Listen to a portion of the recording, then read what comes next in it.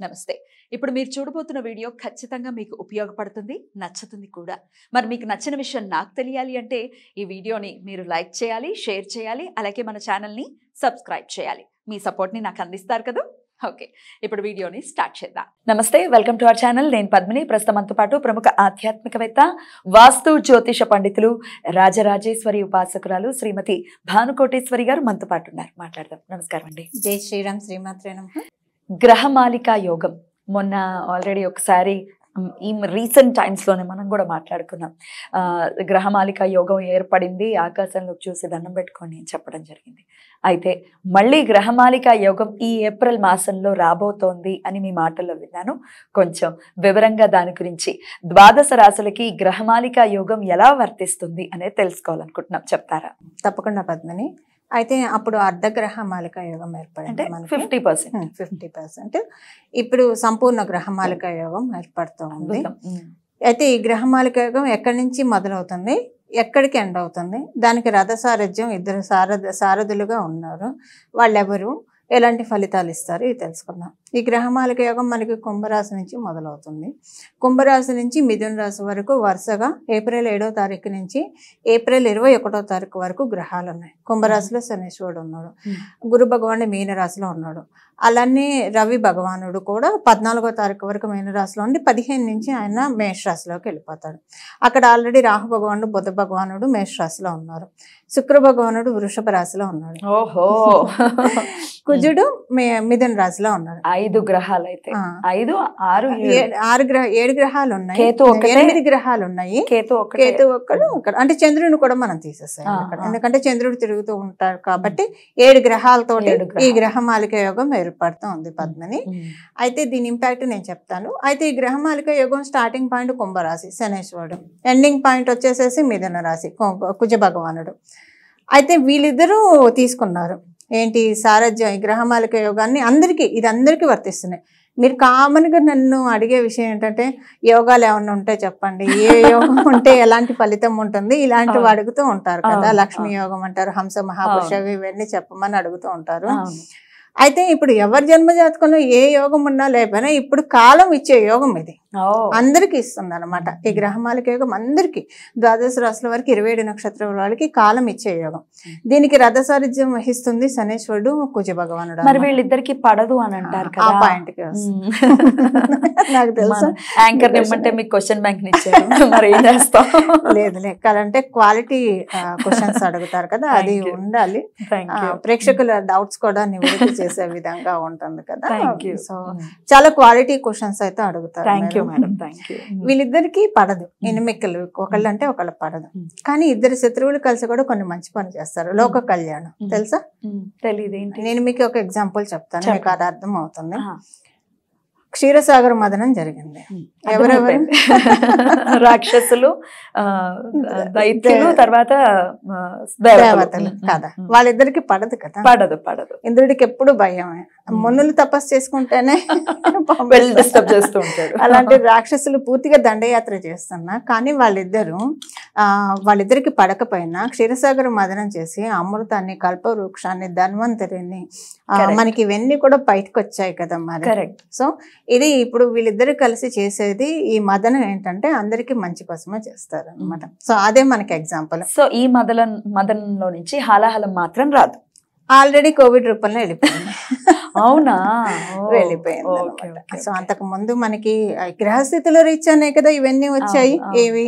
మనకి కోవిడే కావచ్చు అప్పుడు మనకి ఆ, సూర్యచంద్ర గ్రహణాలు ఏర్పడినప్పటి నుంచి కొంతమంది పెద్ద పెద్ద జ్యోతిష పండితులు పాపం నెత్తి నోరు కొట్టుకొని మరి మీడియాలో చెప్పారు జాగ్రత్తగా ఉండండి అని కొంతమంది పట్టించుకున్నారు కొంతమంది ఆ, పెడచెవిన కూడా పెట్టారు. అందులో ఒక ప్రముఖ జ్యోతిష పండితుడు పరమ పూజ్యులు భాగవతోత్తములు గార్గేయ గారు ఈ విషయాన్ని ఎప్పుడు ఎంతో తేటతెల్లంగా చెప్పారు కానీ మనకున్న ఇదేంటంటే మన వాళ్ళని మనం పట్టించుకోము అవును. ఎక్కడో అంటే వాళ్ళు కూడా మన వాళ్ళే అనుకోండి భారతీయ సంతతి అయినా ఒక చిన్న చిన్న అభిజ్ఞానం. పిల్లాడు చెప్పింది అంత. వైరల్ చేశారు కానీ ఈయన కూడా ఎంతో బాగా చెప్పారు. అంతకు ముందు ఎప్పటి నుంచి ఇది? రావడానికి ముందు నుంచి ఆయన చెప్పుకున్నారు ఈవెన్ మూలుగు సిద్ధాంతి గారు చెప్పారు. మనకి మనకి 100% తెలియనంత మాత్రాన వాళ్ళు చెప్పలేదని కాదు స్టడీ కాదు. చెయ్యాలి కదా. అంతే. చెప్పి ఉన్నారు ఈ విషయాల గురించి.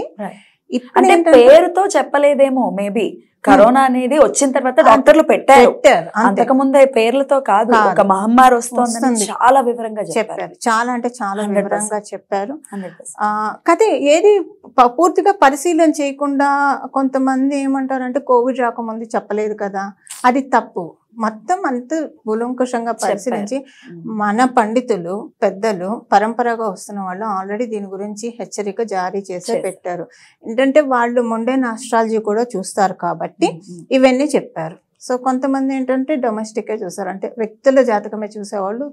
ఈ దేశకాల మాన పరిస్థితుల జోలికి వెళ్ళరు. వాళ్ళకి నాలెడ్జ్ ఉన్నా వెళ్ళరు. వెళ్ళారు. వెళ్ళరు. వాళ్ళు ఏంటంటే అన్ని చూస్తారు. Right. పర్సనల్గా చూస్తారు అన్ని చూస్తారు. సో ఇప్పుడు అంటే అది అయిపోయింది.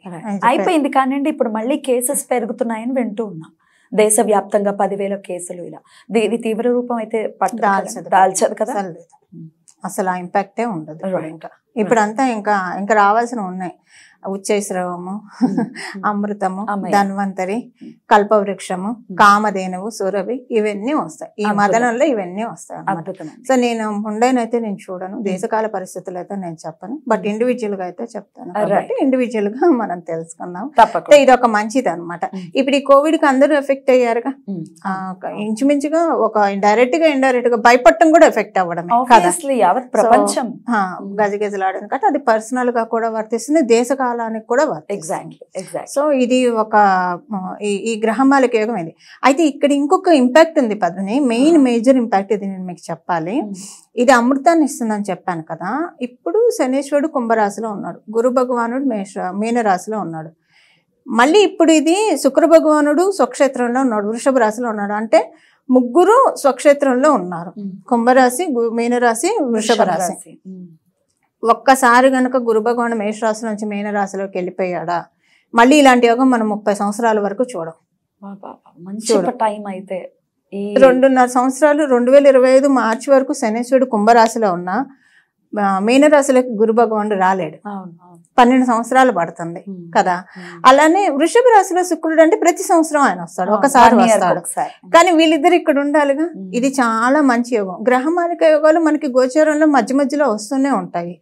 కానీ కొన్ని మంచి సమయాలు ఉంటాయి ఇలాంటి సమయాలు మళ్ళీ మనకి రావు ముప్పై సంవత్సరాల దాకా చూడలేం మళ్ళీ ఇలాంటిది. అప్పుడు కూడా గురు భగవాన్ మీనరాశిలో ఉండాలని కూడా మనం నమ్మకంగా చెప్పలేం శనేశ్వరుడు కర్కాట కుంభరాశిలోకి వచ్చిన అందువల్ల ఇదేంటంటే కాలామృత యోగం.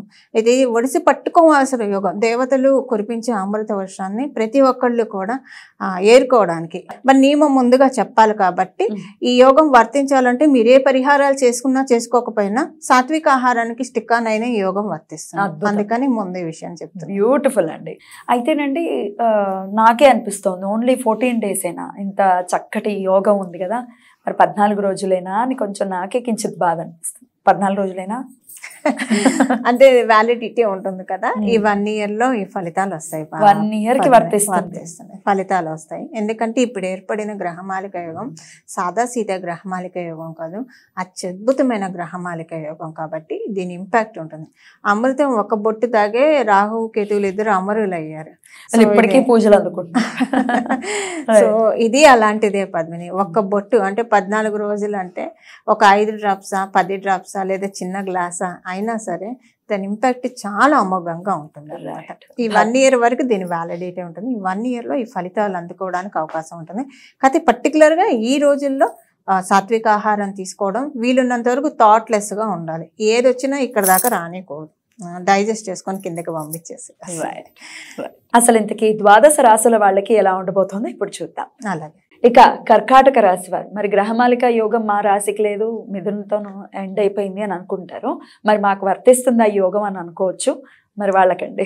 అందుకే మొదట్లోనే చెప్పాను అందరికీ ఈ యోగం వర్తిస్తుంది. ద్వాదశ రాశుల వరకు ఈ యోగం వర్తిస్తుంది. అంటే స్టార్టింగ్ ఎండింగ్ కుంభ మేన ముదిన రాశులు అయినా సరే వీళ్ళకి కూడా అందరికీ ద్వాదశ రాశుల వాళ్ళకి ఈ యోగం వర్తిస్తుంది. వాళ్ళ జన్మ జాతకంలో యోగాలు ఉన్నా లేకపోయినా ఈ యోగం అయితే చూసే తీరుతారు. అయితే కర్కాటక రాశి కర్కాటక లగ్నం వాళ్ళకి సడన్ చేంజెస్ జరుగుతాయి. ఒక ఆకస్మిక మార్పులు వృత్తిపరంగా జరుగుతాయి. అదృష్టకరమైన సంఘటనలు కొన్ని చోటు చేసుకుంటాయి. అంటే ఆకస్మిక మార్పులు అదృష్టానికి లీడ్ చేస్తాయి. ఎందుకంటే వృత్తికి కారకుడైన శనేశ్వరుడు అష్టమ స్థానంలో ఉన్నాడు.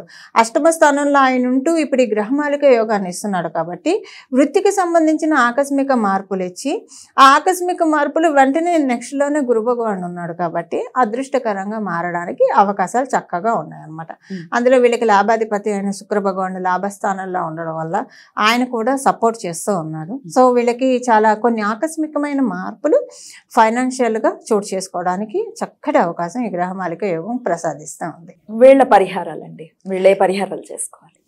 ఈ కర్కాటక రాశి కర్కాటక లగ్నంలో పుట్టిన వాళ్ళు ఇష్ట దైవారాధన చేసుకుంటే సరిపోతుంది పద్మని.